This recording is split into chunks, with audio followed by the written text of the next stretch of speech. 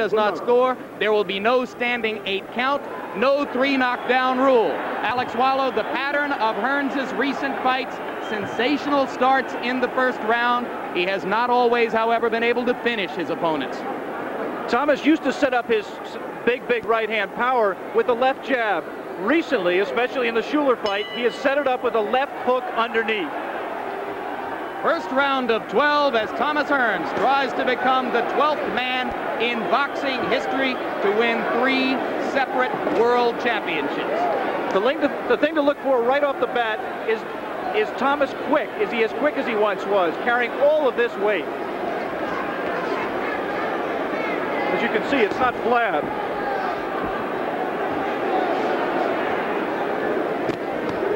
It looks sensational. Not always the group of the buddy.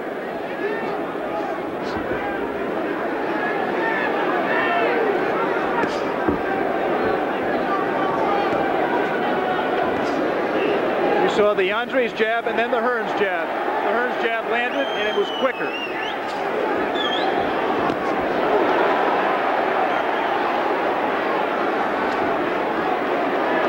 Andries has traditionally been a slow starter. As we've said a couple of times already, Hearns is a very fast starter.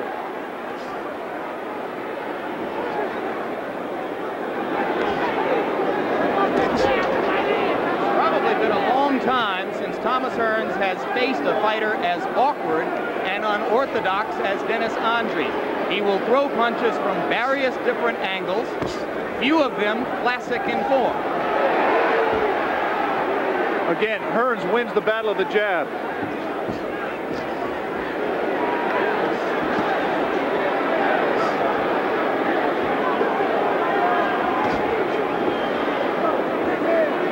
Far, I think Thomas is respecting the Andries power. He has not tried to dig down with that left hook to the body because that leaves him open to Andries' powerful right hand. And this is not the kind of fast start that Hearns has shown in recent bouts as Andries drives him back into the ropes. With that right hand, it sometimes looks amateurish, it's sometimes lunging. That time it caught Hearns at the end of the punch and didn't do too much damage. But he can hit. There you see the kind of unorthodox blow which typifies Andries' style. Looping punches. Exactly right. He is vulnerable straight up the middle because he does loop almost all his punches with both hands. Hearns trying to deliver the right, but the message wasn't there.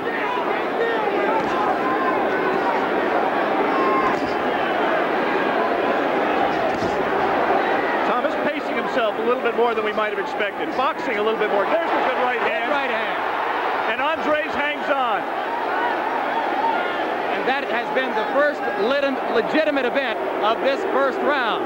The one Thomas Hearns right hand toward the end. Queen WBC light heavyweight champion Dennis Andries in the black trunks and Thomas Hearns of Detroit fighting in his hometown in Cobo Arena and wearing the gold trunks.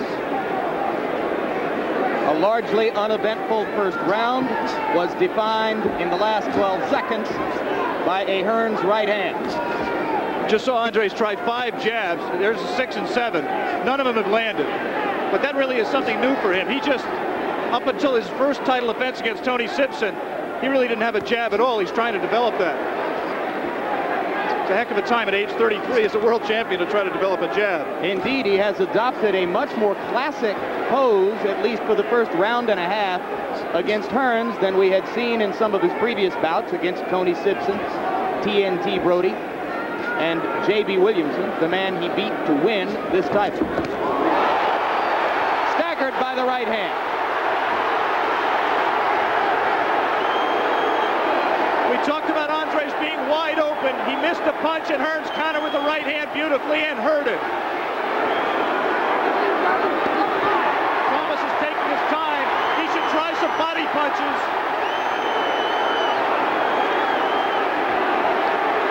And now we can begin to judge Hearns' punching power as a light heavyweight. We can also judge if Thomas has learned how to finish an opponent. He's had trouble in his last two fights finishing be careful also because Andries is still dangerous. No, no, no. Okay. Chopping right hand by her. Okay, outside, outside. Okay, okay, outside, outside, Tommy. And you put 100, okay. There was a the left hand of the body that missed. Good enough again. the right hand. Thomas got hurt with that counter by Andries. And you and saw Immediately, grabbing Andries by the neck. He was stunned by the right hand.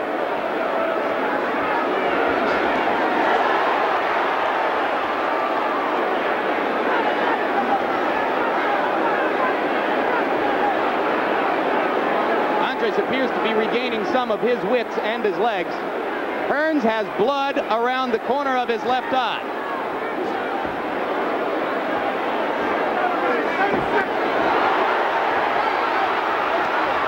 Thomas holding and hitting there. That is attack and complaining about the head. Okay. If it becomes a brawl, that is not to Hearns' advantage. At this weight, Jim, Thomas Hearns may not still have the ability to move and use the boxing skills he did at lighter weights. Andries has made it out of the second round. Cobo Arena. Thomas Hearns, in his last fight on October 17 against Doug DeWitt, was cut over the right eye. And largely due to great work on the part of Ralph Citro, his cutman, was able to last the fight and win a unanimous decision. Now he has been cut in the second round. We are yet to determine whether or not it was the result of a punch or a butt. But Citro has already had to go to work today. And Ralph Citro told Thomas in the corner, don't worry, Tommy, it's not bad. Don't worry about it. But you see Hearns trying to box here and move, maybe perhaps to protect the eye, perhaps he thinks it's the best uh, strategy against this awkward opponent. The good news in that second round was Thomas did hurt Andries. The bad news was he got hurt and he got cut. The third round begins to assume a different complexion, as, as Alex pointed out, Hearns is more the boxer. Watch how open Andries is. He looks almost like a Kronk fighter, carrying his left hand so low. He's just wide open. And Thomas has been successful with counterpunches. There, he got hit low and he retaliated. And this referee is 10 feet away from the action and walking away. He is not in control at this point, Isaac Herrera of Panama. Well, he certainly allowed Andries to hold at will for a while in the second round before finally stepping in. And he's not even in the picture, as you see. We want to alert our local stations along the line. There will be a station break coming up at the end of this round. Station break in a minute and a half. This Detroit crowd loves Thomas Hearns, but they are a critical crowd. If they don't, if Thomas does not satisfy them with the kind of spectacular action he's provided them with over the years, they will get on his case. He knows that. And He I was- think he's partially tailored his style to satisfy the crowd. He talked at the top of the show about how much he felt that he disappointed people against Hagler. And he was booed against Mark Medal in Las Vegas last year. And booed against Doug DeWitt, uh, most recently in his most recent fight here in Detroit. I think Thomas should ignore the fans and, and try to win the fight the best way he can. And I think that's at least to try to use his superior skill.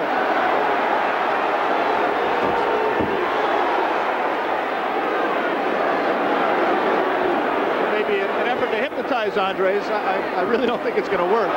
Good jab.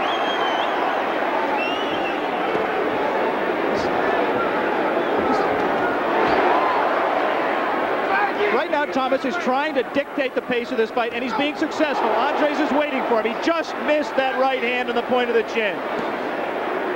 And in the third round, Andries has not gotten a glove near the cut on Thomas Hearns' left eye. Station break coming up. Must system, you would have to think that Thomas Hearns has won the first three rounds.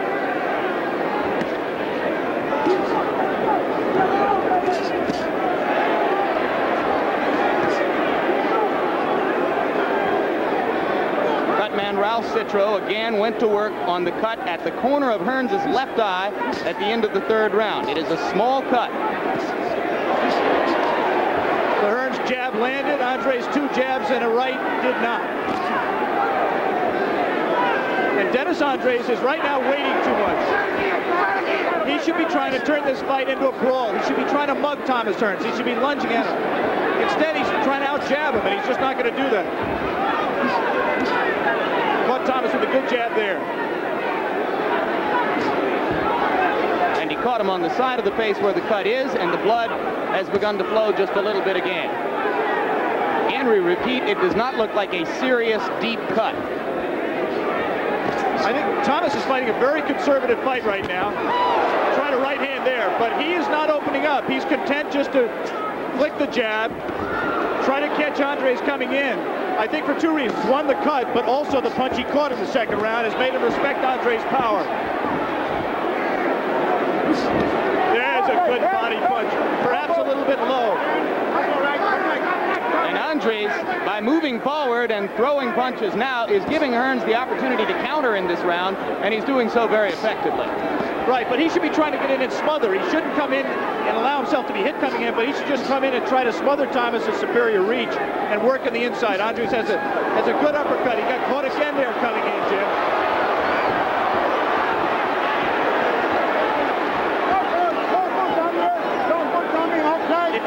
If you think Andries has the look of a desperate fighter in exchanges like that, he looks that way all the time. That's just the way he fights. Indeed, he looked exactly that way in winning a decision over J.B. Williamson to win the WBC World Light Heavyweight Championship he is brought into the ring today. But in that fight, and in his fights with Brody and Sibson, he was often able to put his opponents on the ropes and maul them. He has not had Hearns near the ropes since the first round.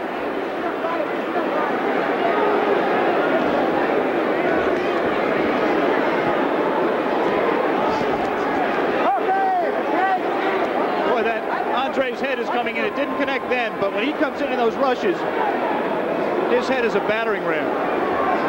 Round four, another round in which Thomas Hearns has been able to stand at the center of the ring and control the action. Thomas Hearns against champion Dennis Andries, WBC light heavyweight title at stake.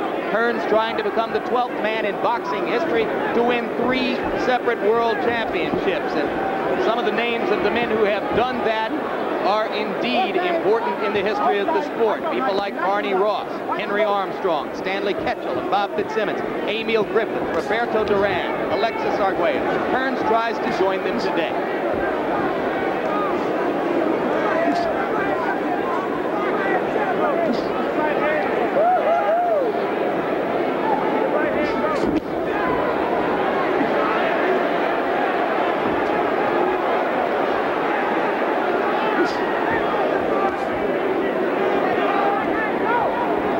Once again, Thomas keeping Andries out at the end of that jab. Thomas is doing a lot of scoring himself. Occasionally flicking his own jab and occasionally catching Andries lunging in. He seems content right now to do that. In case you have joined us late, we remind you this is Thomas Hearns' first trip ever as a light heavyweight. He is in unknown territory, and he's taking a conservative path through this unknown territory. There he moves in. Now he looks like he's trying to drill that left hook underneath and maybe come across with the right hand. Now he's stalking his man. Regaining the confidence which he showed, particularly in the early stages of round two, when he hurt Andries with the right hand. Now he's later rocked himself. No, no, no, no, no, no, outside. Don't you? That's all right. I like it. Come here, baby. Right there. You hear the referee Herrera's broken English and giving instructions to the fighters. One of the key- WBC rules call for a neutral official, Jim, but it's hard to understand why they couldn't get an English-speaking Adrian, official. Outside, outside, Tommy. Don't you? Two English-speaking, uh, outside, fighters. outside. Okay.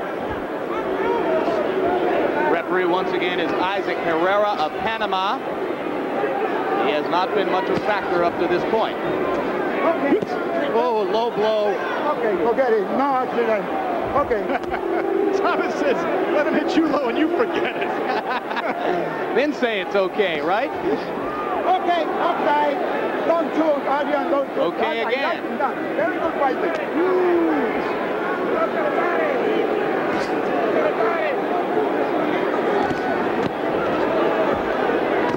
Slow round, another round in which Andries has not been able to do what he ought to be doing. trying to turn the fight into a brawl. And that time, he made Andries miss with the right hand, but he didn't have the reaction to come back with his own right counter. This championship fight is scheduled for 12 rounds, and we begin round six. On my card up to this point, Alex, Hearns has won the first five rounds. That's correct. There hasn't been a lot in the last three rounds, but I think Thomas has won them. He hasn't, however, taken over the fight and dominated and been as a... There's a right hand! Well, he might have just taken it over there. He might have taken his third world title. Herrera talking to Andries. Andries gutsy. Says he wants to continue. Body shot. Hearns is very slow going to a neutral corner. The now referee- Herrera sends him to his own corner. That's correct. Her- He went to a neutral corner and Herrera directed him out of the corner, which is totally wrong. So that count was about five seconds late as the third knockdown. There is no three knockdown rule in effect. But Dennis Andries will try to get up, but he is in no condition to continue with little less than two minutes to go in the fight. Herrera's going to let him go again, I think. No three knockdown rule. Herrera should This stop is this fight. This is absolutely brutal. Andries is just being held up by his guts and his pride, his determination, but he's taking unnecessary punishment. Tommy cannot line him up to get him, hit him with the finishing punch. That is the fourth knockdown of the round. Hearns goes again to a neutral corner. Herrera is saying that that was not a knockdown. That's That is just unbelievable. total incompetency. A fighter went down from a punch. This is a grossly incompetent job of refereeing by Isaac Herrera of Panama. Tommy, don't push, Tommy. Come here, outside, outside, outside. Meanwhile, No, at no, ringside, no, no. the WBC officials are desperately trying to get Herrera's Come this way, attention. come this way. He, again, he sends hers to his own corner. saying it was not a knockdown and he has to clean the, Andries' gloves. Now the WBC official has stopped trying to get Herrera's attention. Okay. You see the clock, 30 seconds to go in Oh! round six. Oh, this is brutal. We talked about a tremendous chin. Let me tell you something. Andries just took a tremendous right Okay, hand. Don't push. Outside. And Thomas has Outside, expended a lot of Okay, energy here.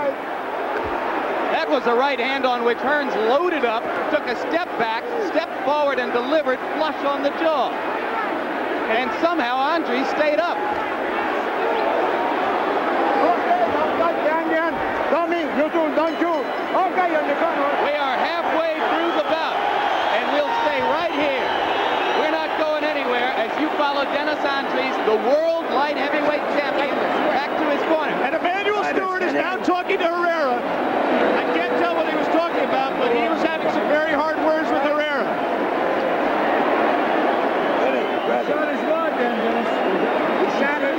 Dennis Andries in his corner, along with trainer Ken Bogner and Angelo Taverna. And let's take a look back, Alex, at the action. First, the first knockdown. Watch for the Hearns right. There it was. And Andries just went flat and his head banged on the canvas.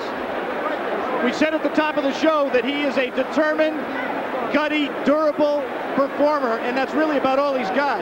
And that's all he has in the fight right now. His only hope is that Thomas Hearns will punch himself out. And Thomas has done that in the past as a middleweight. He looks there like he's trying to get air. Past as a middleweight. He looks there like he's trying to get air.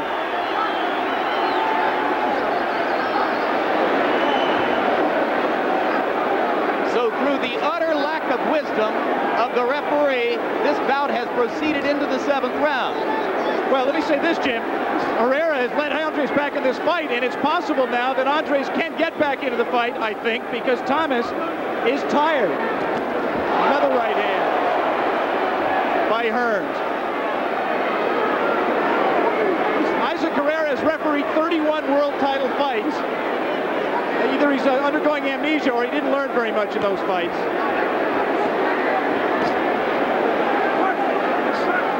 Because regardless of whether Andries is now able to right himself and get back into the fight, Herrera took unnecessary chances with his health in the preceding round. Mean, Andries was in no condition to continue. He's flopping all over the ring. The fact is that with all of the uh, flop downs at the time Andries got to regain himself, while Herrera cleaned his gloves, he went to the canvas, I think, six times in that round.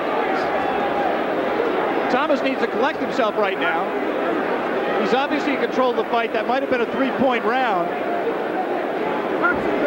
The sixth. I don't think he can lose a decision at this point. He just must be very careful that Andries doesn't get back in the fight and that he doesn't run out of gas. Well, just as Herrera is open to question, certainly any official who scored that round 10-9 is open to question too. But now Andries is starting to rally a bit and has Hearns against the ropes where he can be most effective. Absolutely. Thomas is dead tired right now. That's all right. I like that. We will see if he can get a second win.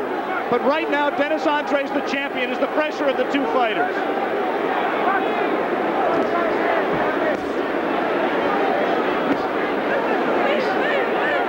There is no spring in the Hearns legs.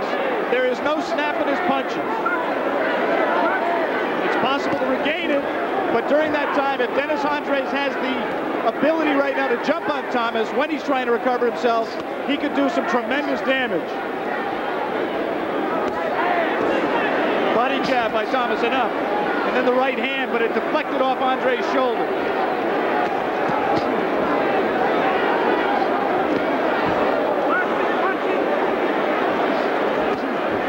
Ooh, those body punches by Andries. He scored a left and, and two rights to the body of this round, and they will take away to any spring that's left in Thomas Hearns' legs. And you see the awkwardness which sometimes makes Andries look so bad, but in other words, makes him, or in other ways, makes him so effective. He's not at all afraid to get hit. That's all right. Correct. I like We have come to the end of the seventh round.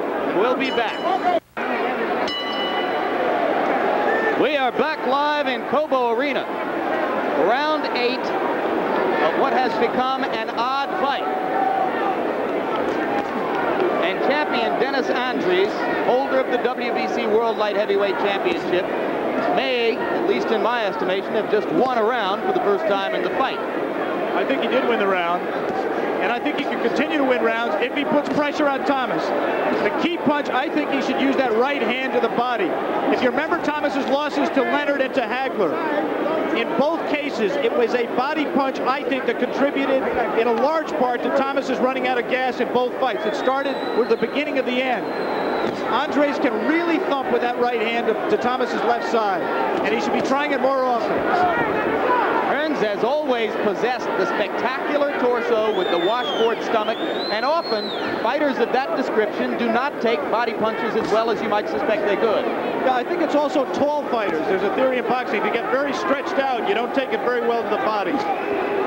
We'd like to alert our local stations along the line that at the end of this round we'll be taking a station break. Right hand missed by Thomas Hearns. We should report that between the last two rounds, Ralph Citro has not even come into the corner, uh, into the ring to work on Thomas Hearns' eye. That eye has been closed.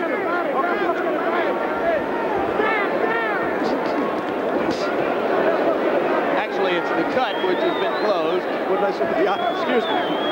Yeah, yeah, the cut has been closed. Quite correct. Another hand up high in the head of Andries. Andries has been down coming into this fight only twice in his career. In both cases, it was right hands high on the head. He takes a punch on the chin better than he does up in the temple area.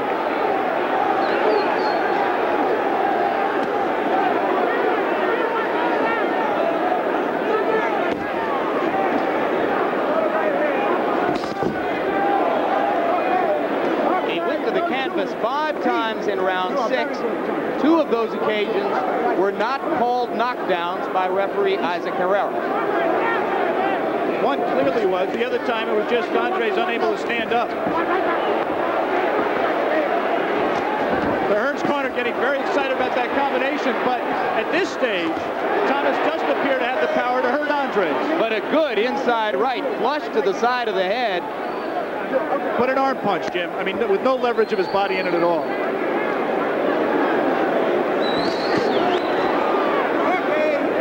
We'd like to alert our local stations. We'll be back. More of Hearns and After this word from the stations themselves Round nine of the WBC Light Heavyweight World Championship fight between Thomas Hearns of Detroit, Dennis Andries of England. Hearns becoming, or attempting to become, I should say, only the 12th man in the history of boxing to win three separate world championships. If you've joined us late, you've already missed an eventful day. A lively crowd in Cobo Arena, a 2-minute 55-second national anthem by the Queen of Soul, Aretha Franklin, and a sixth round in which Dennis Andries, the champion, was on the canvas five times. Three of them ruled knockdowns officially by referee Isaac Herrera, who made a highly questionable decision in allowing the fight to go on. Now Hearns attempts to finish things off. Dennis Andries made a big mistake in the last round by letting Thomas back into the fight. He had Thomas tired. Good right hand. Andries just see why he went down there. He might have slipped off the edge of the ring. Yes, he did. He looked back. Okay, Tommy, come in. It's a huge 21-foot ring, but Dennis just used all of it. But Thomas got his second wind a little bit, won the last round, is now back in this fight and has regained control. Good body punch, one of the few that Hearns has elected to throw since he began scoring at will to the head. Another right hand. Andries is staggered again. And now it's the Andries legs right. that look bad. Right then.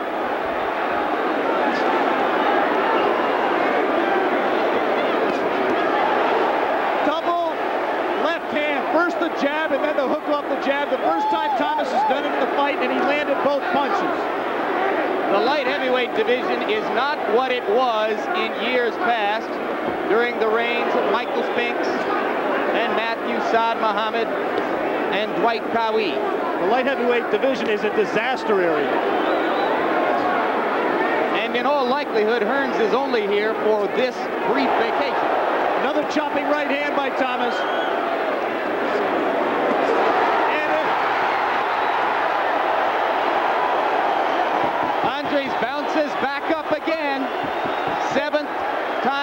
on the canvas. Hey, Five right. of them officially yes, knockdowns. I went to focus on. All right. And you saw the wild right hand that Thomas does not want to walk into in trying to finish Andries. That's all right.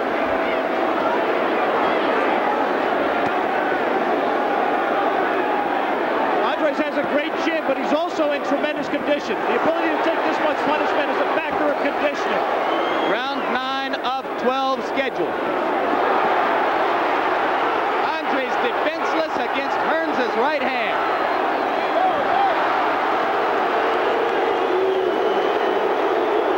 Championship Wrestling in Detroit. A disgusted Thomas Hearns goes to his corner. Round nine in. Is the WBC World Light Heavyweight Champion. And the fact that he holds that title is a statement on the light heavyweight division at this moment. Today, he has been on the canvas eight times in this fight with Thomas Hearns, and still the fight continues. Outside, outside, Andy. Outside, Tommy, don't you, don't you. Okay.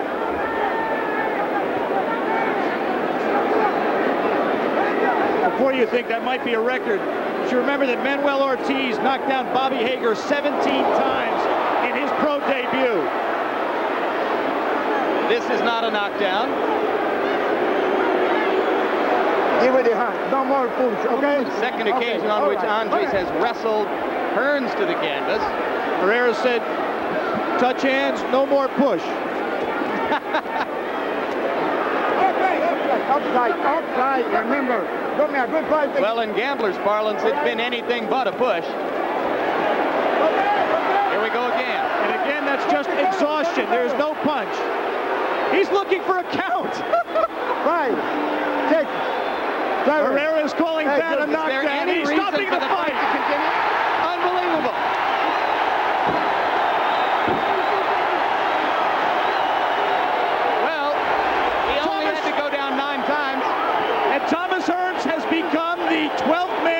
boxing history to win a third world title. And has taken a step toward his unique goal, which is to become the first man ever to win four. We may have just seen Thomas Hearns' first and last fight ever as a light heavyweight. He has also made boxing history, Jim, in the fact that he is the only man to have first won a title at welterweight and then jump up to light heavyweight and win that championship. And there's a game, but a thoroughly outclassed Dennis Andries, a disappointed ex-champion. Do you think the fight told us anything at all about Hearns' ability to carry his punching power up to the higher weight class? It's difficult to say because of Andries as an opponent, but he did show an awful lot of guts, Jim. He got hung in there, he got his second win, and he finished the man late in the fight. Unlike most of his fights, there you just see, that was called a knockdown. If you saw a punch, I did not. There were several fall downs. There were also some brutal knockdowns. There were several of the classic right crosses which have typified Hearns throughout his career going back to his days as an amateur. And that is just exhaustion and Dennis Andries just saying in his own way, no mas. So there it is, once a world champion as a welterweight, once a world champion as a super welterweight, now a world champion as a light heavyweight. We'll be back to talk to Thomas Hearns. Right now, let's go back to New York and visit Frank Gibbons.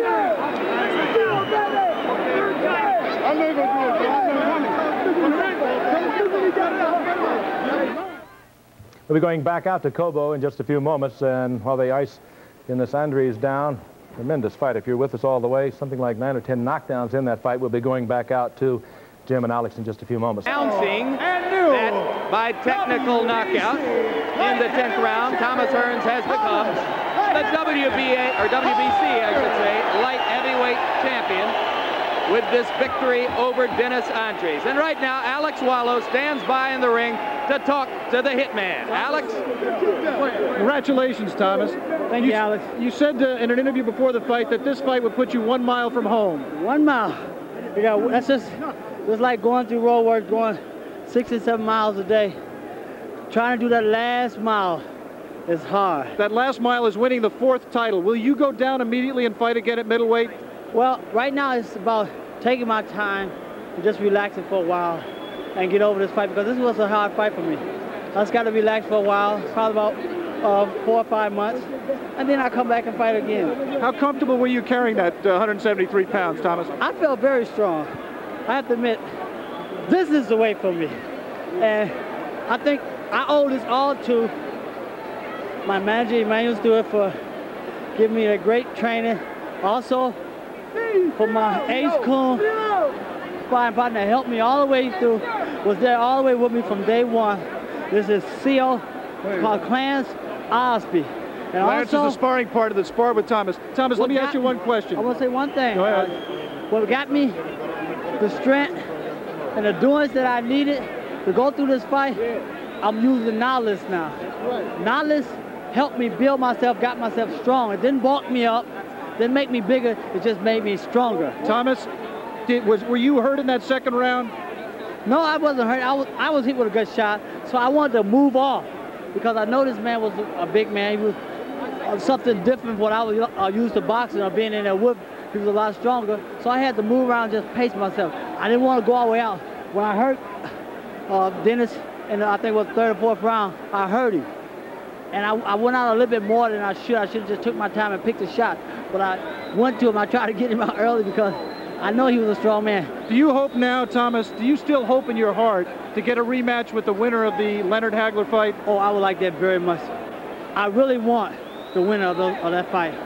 I think that that fight right there is definitely history for me. I don't care who wins. It can be, or it can be Ray Leonard or it can be Marvin Hagler. Come on.